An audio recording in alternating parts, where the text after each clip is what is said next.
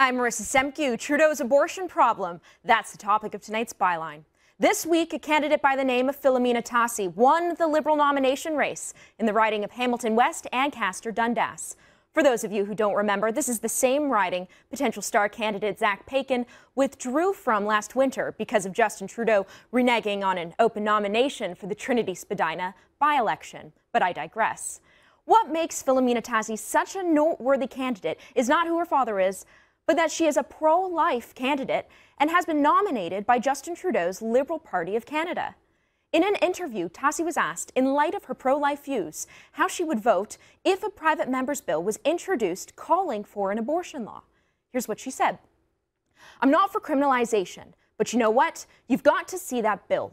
No one can say categorically whether they would support something like that or not support something like that. Let's see what you are showing me, and then I will make the decision.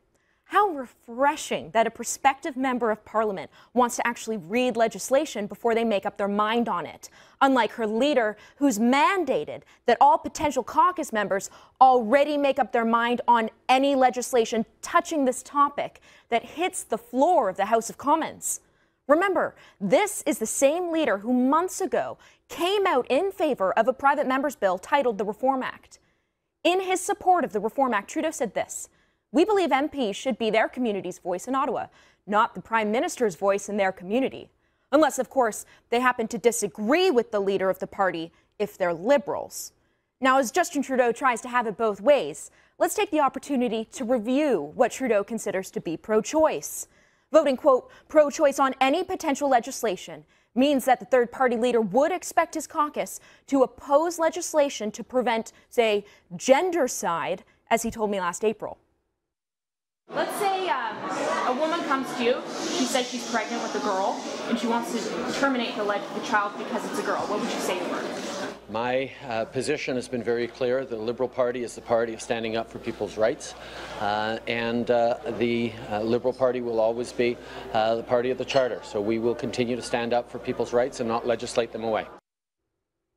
Similarly, many reasonable Canadians who consider themselves pro choice oppose late term abortion, not in Justin Trudeau's party. This is not a black and white issue for most Canadians. Sure, there are strong advocates on both sides. But for many, there are shades of gray. Filomena Tassi would not rule out supporting an abortion law. Furthermore, she said that no one wants to have an abortion. Sentiments like that, although I disagree with, are anybody's definition of reasonable.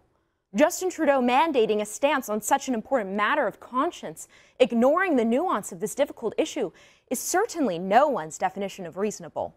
Now, last night, our own Faith Goldy caught up with Justin Trudeau to ask about whether he'd red light his newly elected candidate. His response won't come as much of a surprise. Pro life Liberal candidate Filomena Tassi says that she's not opposed to voting for some sort of version of an abortion law.